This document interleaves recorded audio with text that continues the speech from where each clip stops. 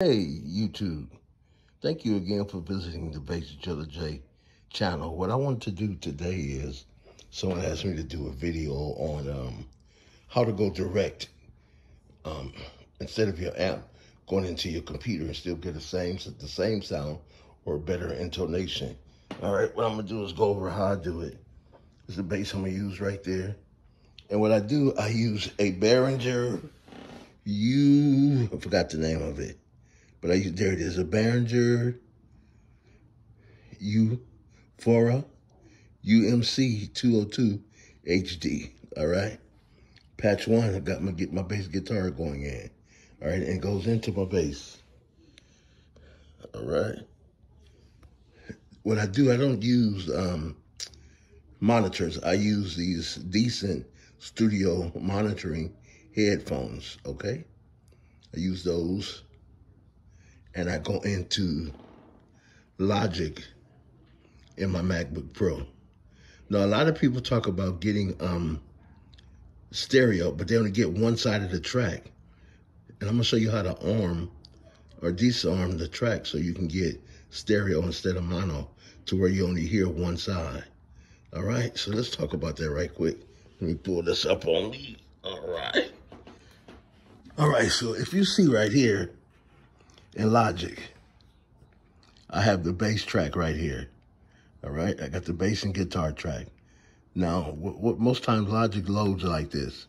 Come up here, take that off. Come over to the track. That's your bass guitar track. Right here, you're gonna see two circles. That means stereo right there. What you wanna do is disengage that to where there's one circle. And what that one circle does for the bass it makes a mono, but stereo in the track. All right, very easy. So all this over here is my um, bass guitar. So same thing right here. Take it off, one button, one, one, um, one zero. So instead of stereo here, you want to make the track mono, which comes in to the recording track as stereo. All right, you got it? So again, let me come out and show you how to do it again. Let me delete this track. Okay, so now what I'm gonna do, gonna come up here and I'm gonna uh, do new track. And then what I'm gonna do is bass, guitar, um, bass and guitar track. I'm gonna create. And remember I told you this is gonna come up disengage that by going here. All right. And then now you see how it has stereo in the instrument track. All right. What I want to do, click it. Boom. Now it's no longer stereo on either side. It's mono. But on the track itself, it's stereo. Got it? That's all you do.